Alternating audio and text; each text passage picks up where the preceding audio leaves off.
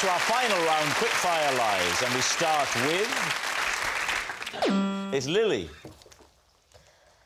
Until last year, I believed that reindeer were fictional creatures like unicorns, until my six-year-old daughter told me the truth. Please, team. Until how long ago? Last year. How? How?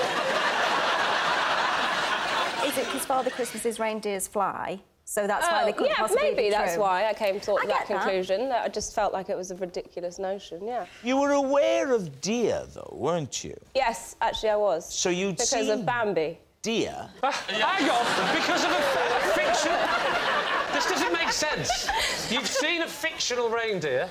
Well, if Bambi, in the had, sky. if Bambi flew, then I probably wouldn't have believed in deer. What about Dumbo? Did you not believe in elephants? Did you stop believing in carpets when you saw Aladdin?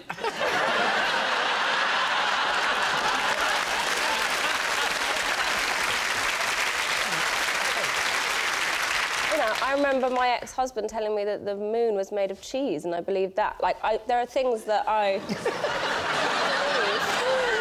I think we should stop here for a second.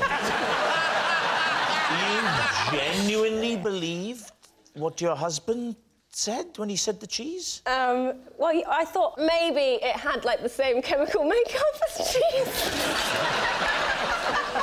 Can I just point out, Lily, you are saying this out loud on television. Wow. Let's go back to the conversation between you and your little your little girl. How did it come about and what did she say?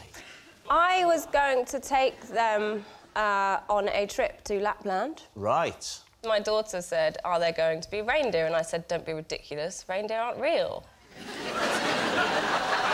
What was her reaction to that? She had been to another farm in uh, Gloucestershire and had seen some reindeer, so she knew that reindeer were real. And how long did this carry on? Until I googled reindeer.